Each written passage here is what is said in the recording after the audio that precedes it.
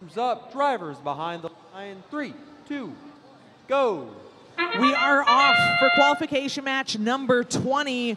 Blue Alliance out of the gate scoring one, two, three game pieces, 42 72, missing their second game piece. Over on red, they were able to score two game pieces, and Munster Horsepower is docked and engaged. So is Huskies on Hogs. We're now moving into our teleoperated period. Blue Alliance coming out of auto with an advantage, but both alliances were able to get some points from the charge station. That's going to help them a lot with their activation bonus, which, as a reminder, if an alliance is able to score at least 26 points from the charge station, docking or engaging, they get a bonus ranking point. 42-72 lifting up, scoring a cone on a high node. Their partner, 76-17, the Roboblazers, attempting to do the same, but dropping it at a last minute they are not going to get any points for that since the node that cone is in already has a game piece in it. We've got a minute and a half remaining. 81-16 scoring a cube in a low node. That's going to be the first link that the Red Alliance has scored. They need five total in order to get their sustainability bonus right now. Blue Alliance has been able to score right now one link as well, thanks to 76-17 Roboblazers scoring a cone. A link is three in a row. Maverick Robotics got another one over for blue. They now have two under their belt. They need three more to get that sustainability ranking point.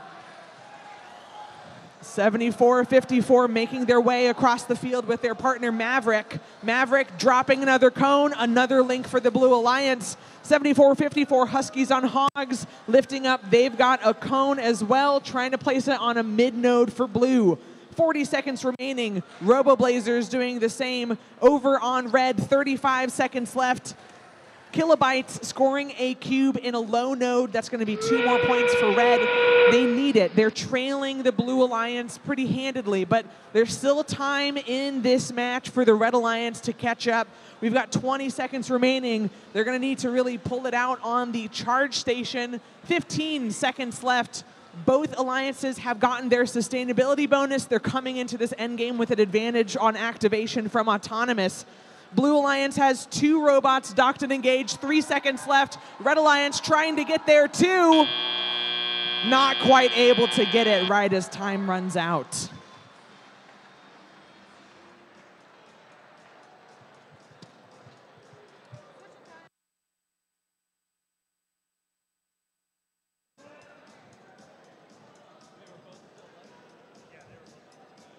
We've got our scores for match number 20, and it is the Blue Alliance taking that win, putting up 151 points up against the Red Alliance's 98.